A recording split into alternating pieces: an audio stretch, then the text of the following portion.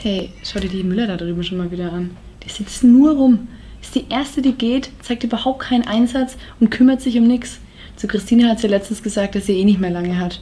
Zwei Jahre wird sie hier schon rumbekommen. Sie wird ja eh nicht mehr gekündigt, nicht mehr befördert und man verstehe ja wohl, dass sie sich den Veränderungen nicht mehr stellen kann. Ich finde es trotzdem unfair. Es bleibt ja alles an uns hängen.